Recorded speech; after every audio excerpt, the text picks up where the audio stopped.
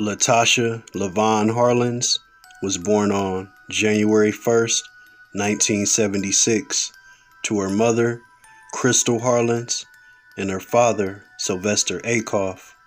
Growing up with her younger brother and sister, they lived in East St. Louis, Illinois, till about 1981 when Latasha was five. The family moved to Los Angeles, California. Her father got a job working in the steel industry and her mother, she was working at a local tavern. Now, it's alleged that her dad used to beat up her mom a lot, and eventually they end up getting divorced in 1983.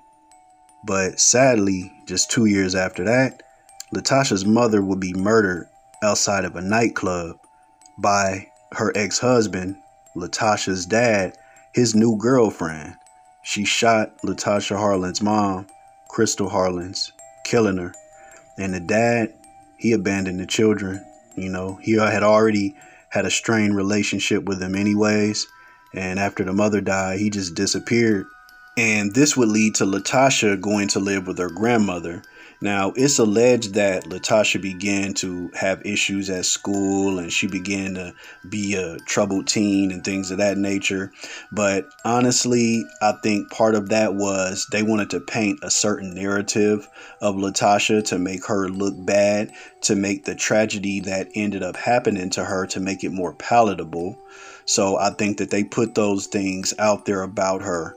But even if she did have a few issues, I mean, she lost her mom when she was incredibly young. Her dad abandoned her, and she was living in Los Angeles, California in the 1980s. So I guarantee you, she had probably seen a few things.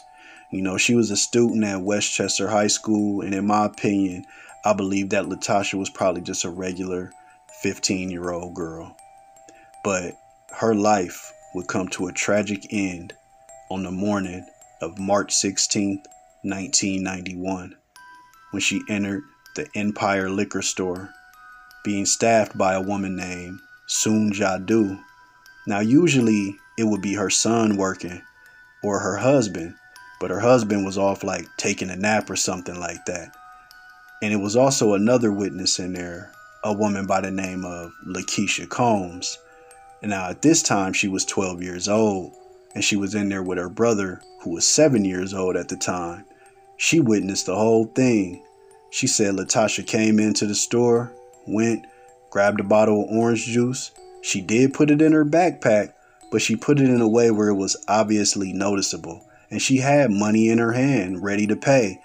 But she said that Soon Ja Du began to yell at Latasha and saying that she's stealing, even though she was obviously just trying to pay the woman. Once Latasha gets to the counter, a physical altercation occurs where Latasha strikes the woman. The woman throws a chair at her, and Latasha tries to just walk away from the whole situation.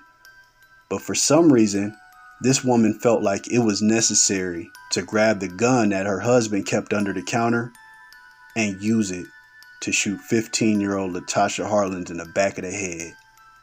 I was gonna put a clip of the video in this video, but I it was hard for me to watch it and I just don't want to put other people through it. If you want to check it out, you can. It's on YouTube. And what makes it even more crazy is that Latasha Harlins was murdered just two weeks after the Rodney King incident when he was beaten by four LAPD officers.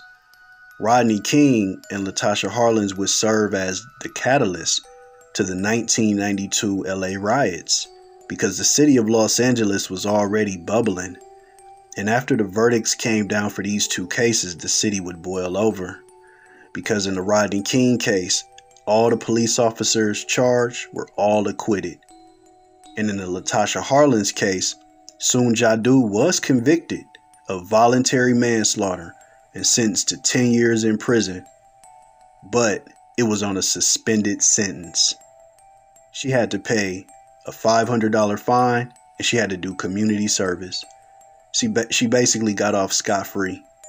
She never spent a day in jail for taking a life of Latasha Harlins. And y'all want to know what's even more strange? Is that around this same time, there was a post a postman who spent six months in jail for shooting a dog that was trying to attack him. And there was another man who had kicked his dog out in public and people called the police on him and he spent 30 days in jail. But Soon Ja Du didn't spend a single day in jail for taking the life of Latasha Harlins. And, you know, I just wanted to make a video about her because I want her legacy to live on. And I don't want people to ever forget what happened to her, her life being taken in such a cold, just ridiculous way. And something good did occur recently. They raised a mural in the honor of Latasha Harlins in Los Angeles, and they did it on what would have been her 45th birthday. Latasha Harlins' family did end up receiving a settlement from the insurance company that covered Soon Ja Du's convenience store. They end up paying $300,000 to them. But guess what, y'all?